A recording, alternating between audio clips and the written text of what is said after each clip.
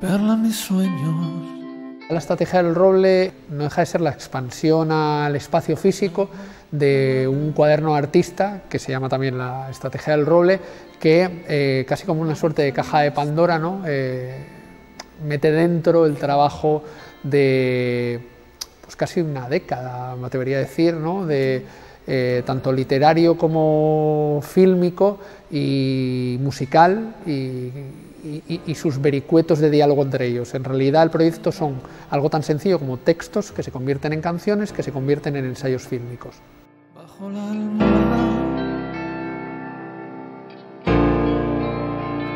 y las garras. Mi aporte como comisario, curador de la muestra, además de delirar, poner orden y desordenar los materiales de Tito, mi intervención ha sido también un poco a nivel de eh, mapa, de, de, constelación, traíamos todo el tiempo este concepto de la constelación como algo no fijo, como algo que se mueve.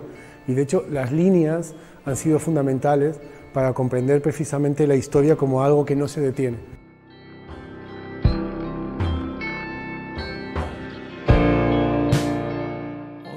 El, proyecto eh, tiene esta constelación que traza hilos, ¿no? hilos que fuesen uniendo eh, recorridos posibles a través de todo el proyecto, ¿no? que pueden ser estos o pueden ser otros, pese a que sea una estructura muy cerrada, lo que yo propongo, ¿no? la, la, la frase que abre el libro y que está presente en las posiciones, el algoritmo soy yo, ¿no? No, no te escondo que hay alguien manejando los hilos de lo que vas a ver, pero el, el proyecto también es una invitación al juego, coge lo que quieras, escucha las canciones por separado porque nunca te lo vamos a dar junto, que dialoguen con la imagen con la que yo la hice dialogar o no, eh, cógete este texto y a ver qué te dice.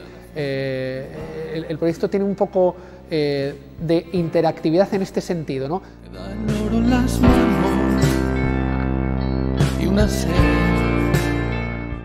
En mi caso ha sido un año entero de, de conversaciones eh, telemáticas, además, yo en, en Buenos Aires, Tito acá en Asturias, y de invitaciones a nada, a rastrear documentos y materiales, textos, libros y, y dejarme un poco afectar también eh, por lo asturiano desde Buenos Aires, en mi caso.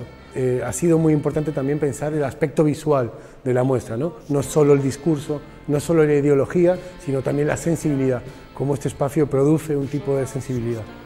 Hemos pensado como retornos continuos, cosas que, que vuelven, cosas reprimidas que afechan el presente y que un poco eh, nos dan pie a, inventar un futuro.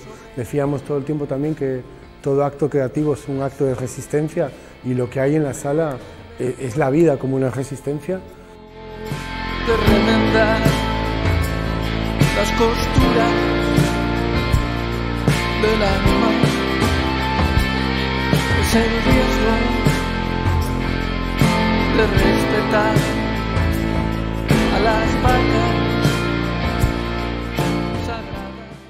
A mí me gusta que los proyectos tengan capas de profundidad. ¿no? Este mapa de, de, ideas, de hilos que traza, eh, baja mucho a, los abismos ¿no? de, esas capas de profundidad y, saca a la luz cosas que a lo mejor son muy importantes a través de documentos, de fotos, de otro tipo de, de elementos que son muy importantes pero que a lo mejor están muy en la, en la capa eh, profunda.